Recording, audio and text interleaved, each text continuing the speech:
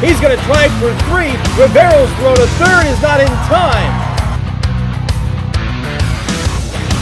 Caught by the catcher and Boucher, and he holds on for the tag.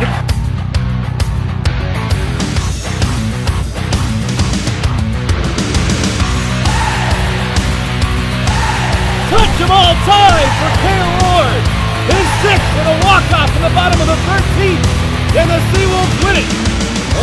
They mob to the plate. And he will send the 5,000 fans home happy and a winner.